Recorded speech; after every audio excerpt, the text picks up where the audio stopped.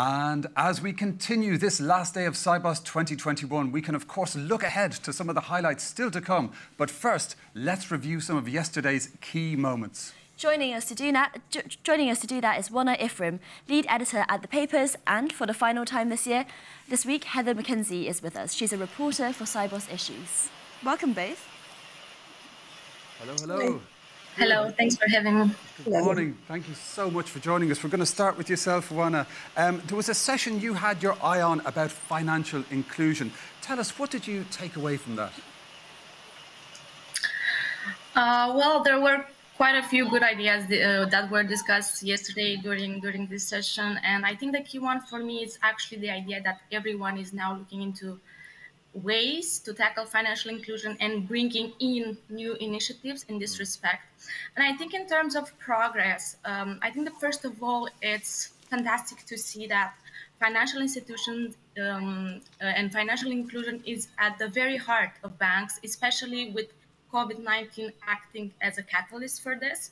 And I think it's no surprise that the pandemic especially impacted vulnerable groups, including seg segments that are already uh, lim uh, have limited access to financial services and resources, such as women, low-wage workers, and uh, SMEs.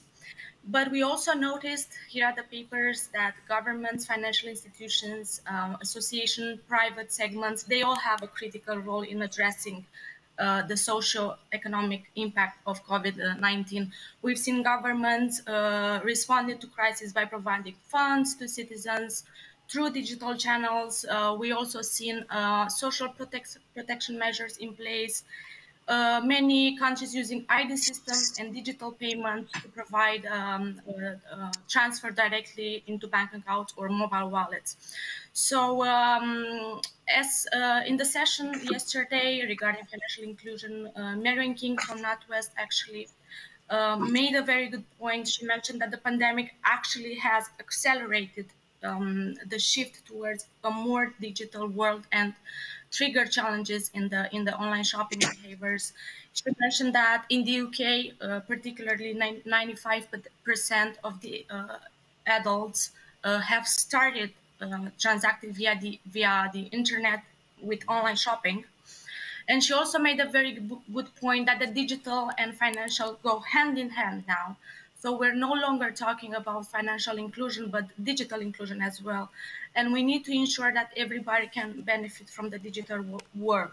And another interesting point was made by Michelle Swanepoel from Standard Chartered she mentioned that even before the pandemic, African consumers were already starting relying more on their devices, but without a doubt, uh, COVID-19 has caused an acceleration in these behaviors.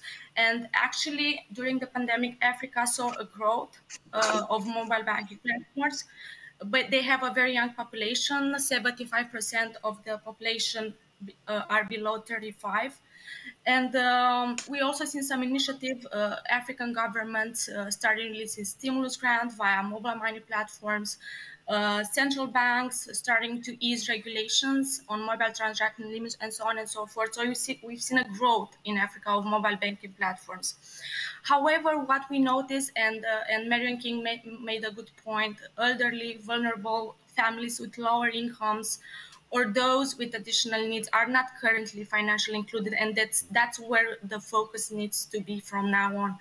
But there's also another segment and specifically those that are basically afraid to access digital services. And um, a very interesting point that Marian King made was the fact that we we are currently seeing uh, a double pandemic happening, another pandemic in parallel to the COVID-19 pandemic. Mm and is the fraud pandemic. Uh, she mentioned that in the UK, uh, scams doubled during the pandemic and fraud has reached um, uh, record levels during the pandemic. Well, no, that's, that's and, fascinating. Uh, yeah, um, um, let me just bring Heather in here, um, if I may. Um, Heather, you watched that session too. Now, it's a regular topic of discussion at Sibos. What progress do you think has been made on financial inclusion?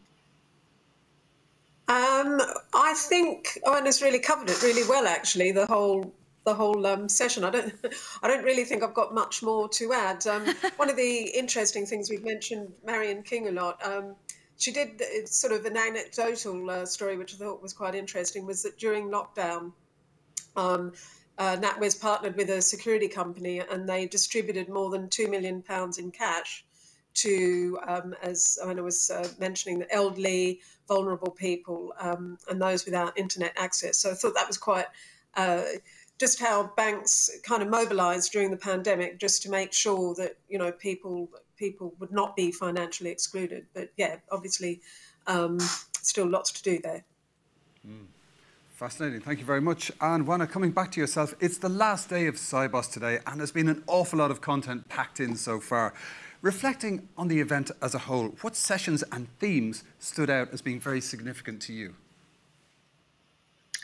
Well, that's uh, that's really hard to choose actually, but I think uh, if we look at the, the main themes, the main topics, and some of the topics that we hear at the Paypers are very much focused on, I think uh, the first one is of course Swift uh, ISO 20022 which is uh, which is a key topic and uh, for for cross-border payments. And uh, it's inter- it's interesting to see what would what are the steps that institutions need to take to make this journey a success.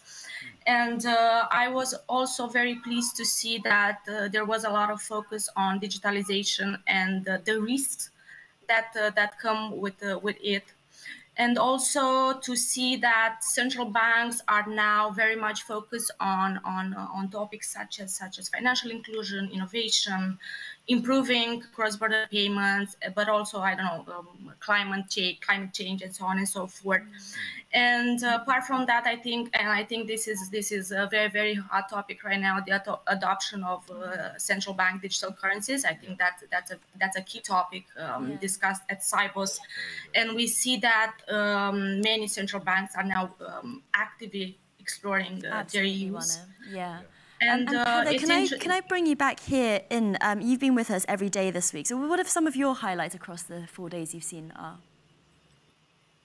Um, I quite liked, as a freelancer and someone who works from home and who wasn't really madly affected by the lockdowns, um, I thought there were some really good discussions about the nature of work, and particularly from uh, Noel Quinn of HSBC on the first day, sort of saying that banks trusted their staff to work from home and to get the job done, and and that you know the idea of forcing people back to work wasn't a great idea. So we're looking at a future of hybrid working, and also the see, this afternoon forward to seeing Mark Carney, who's the closing mm. um, in the closing plenary, and he'll be talking about climate yeah, change. So big big issue.